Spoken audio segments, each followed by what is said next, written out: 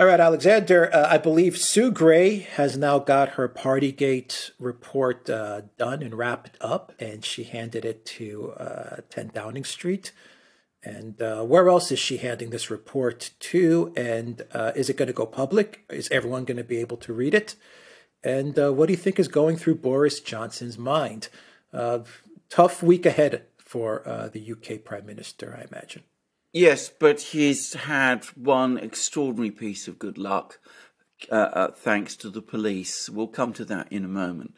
But um, Sue Gray, as you rightly said, has completed her report and she's handed it, it, handed it in to Downing Street, and of course it's in Boris's possession. And just before we did this program, I got news that Boris is about to speak to the House of Commons, and um, all the indications are he's going to make a fight. He's had no intention of resigning.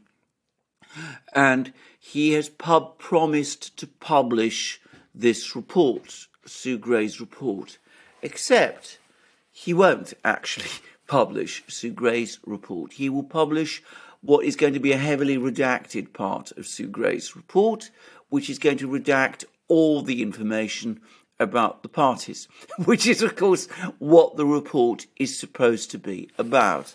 And Boris is in a strong position to publish only a redacted version of the report because the police have now given him a get out of jail card, essentially.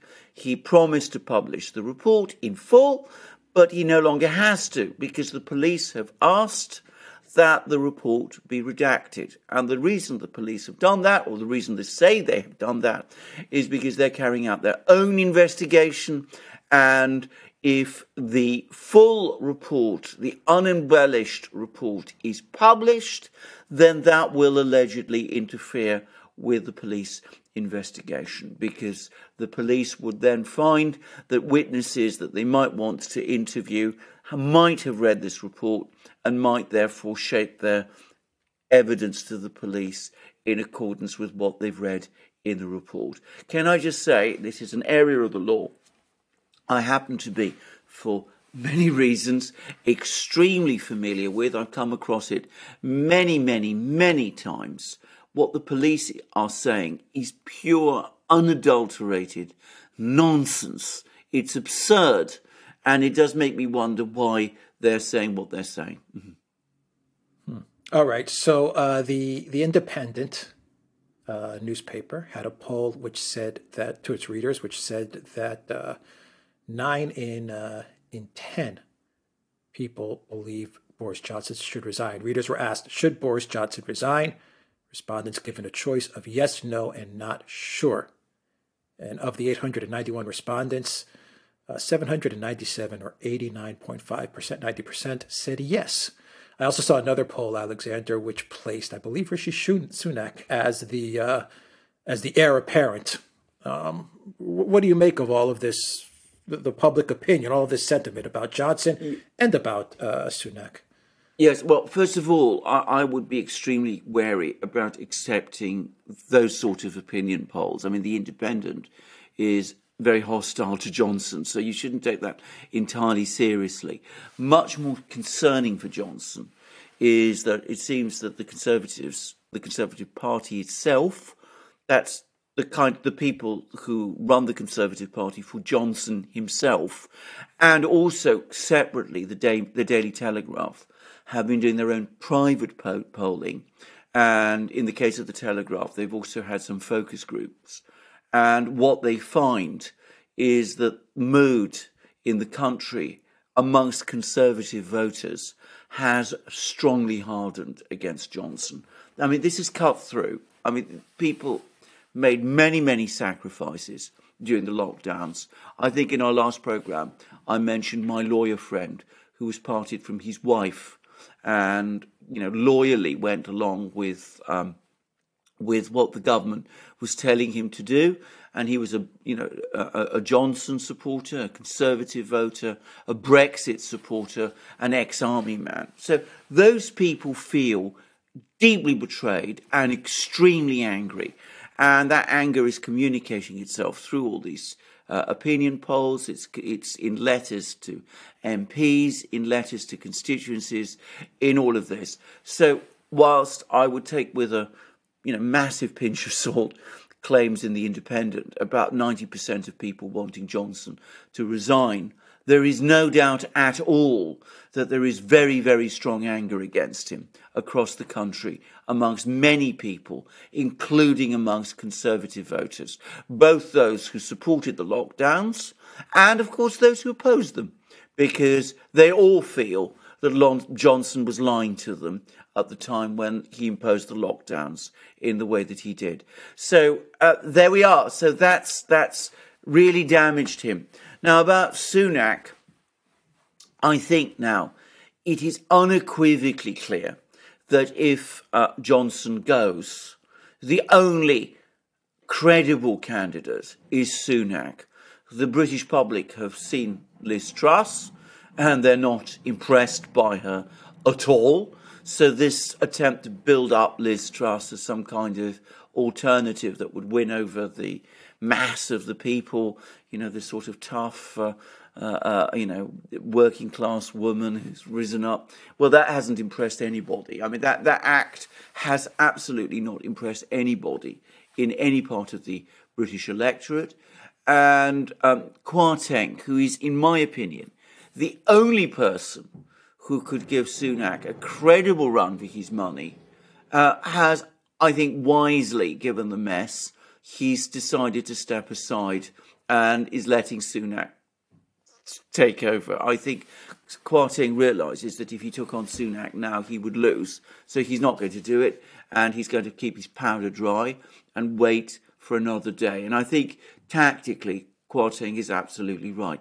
So I think if the Conservative Party has any understanding of its predicament, um, then if Boris goes, if Johnson goes, then then it has to be Sunak to take over from him. I, I say that I obviously without any enthusiasm at all. I don't particularly like Sunak. I I think he is absolutely part of the globalist uh, uh, um, rat pack, if you like. Um, I I mean, he's obviously somebody who's always said that he's a Brexiter, but I don't take that especially seriously either.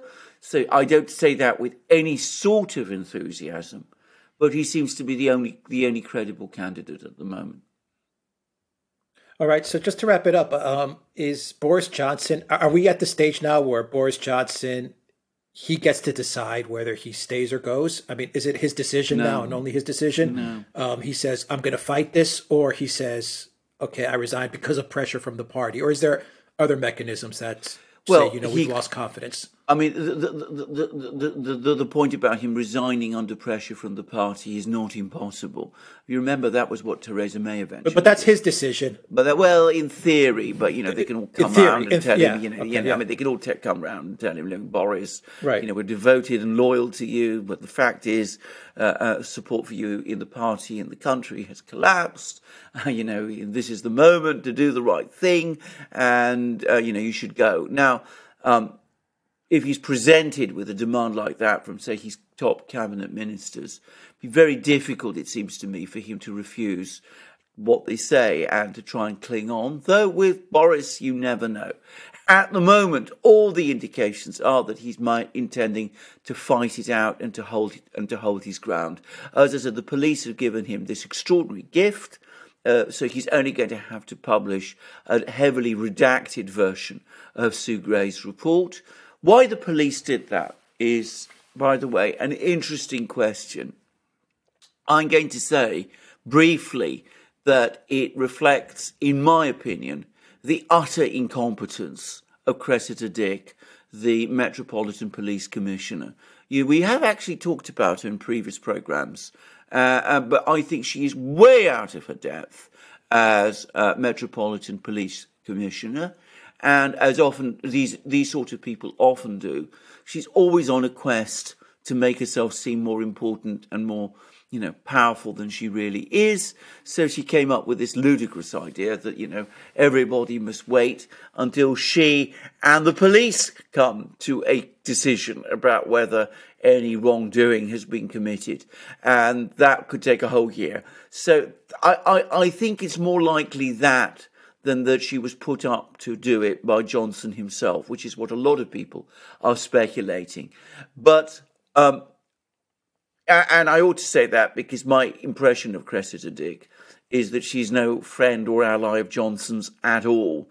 She's on the liberal side of British politics, if I could just add that too. So whatever whatever the reason though, she's given, as I said, Johnson this gift. He doesn't have to publish the full report. It's made many people in the Conservative Party extremely angry, and um, whilst it's helping Johnson in the short term, I'm increasingly getting the sense that opinion against Johnson is continuing to harden. There are rumours that there are already now more than 56 letters of no confidence from MPs in Johnson circulating. So it's quite likely that we're going to see a, um, a, vote of confidence in him very soon. And I have to say um, that if there is such a vote of confidence, I, I expect he will lose. Wow. Big, big week ahead. Oh, um, huge. But, you know, he's, he, he is Boris. He's still got, uh, he's still fighting. He's not going to give up. He's come to the House of Commons. He's talking about doing a great tour of Eastern Europe to rally the troops against the evil Putin. He's sending his uh, defense and foreign ministers to uh, Moscow to have talks with Putin, or not with Putin actually, but with other senior Russian officials. He's talking about how he's going to impose uh, sanctions on Russian oligarchs who've been sanctioned already. he's, he's, he's, he's trying to keep himself looking busy and looking active. And I don't know how many people it impresses. I think in the country it impresses absolutely no one. But of course, amongst the hardline militarists within the Conservative Party, well, maybe it might win him some support there. We'll see. Putin to the rescue. Yeah. Blame it on yeah. Putin when in trouble. Blame it on Putin, right. yeah. If Boris stays, it's Putin's fault. If Boris goes, it's Putin's fault. Everything exactly. is, is Putin's fault. It's Putin's fault. Yeah, all right. We'll leave it there. Uh, we'll be covering this as it unfolds. Um, DuranLocals.com, the Duran.locals.com. Check us out there. Odysee, BitChute, Rumble, and Super U. And there is the mug good day. Use that as the code as well to get 10% off all merchandise. Take care.